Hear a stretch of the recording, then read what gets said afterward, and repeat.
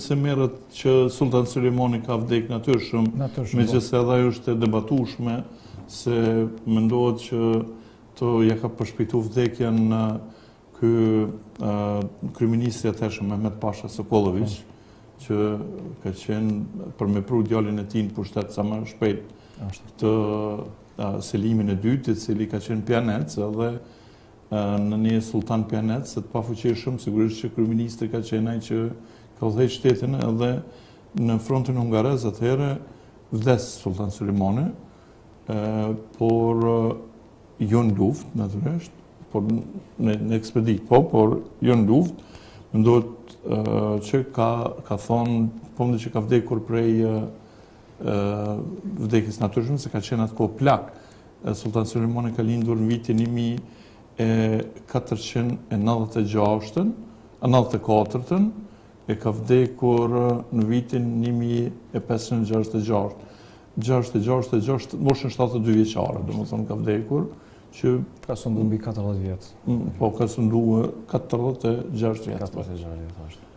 prej vitit 1520 deri në vitin 1566.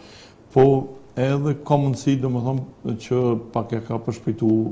vdekjen atëherë kryeministri, për mes jelë me pas nën komandë këtë, siç edhe ka pas.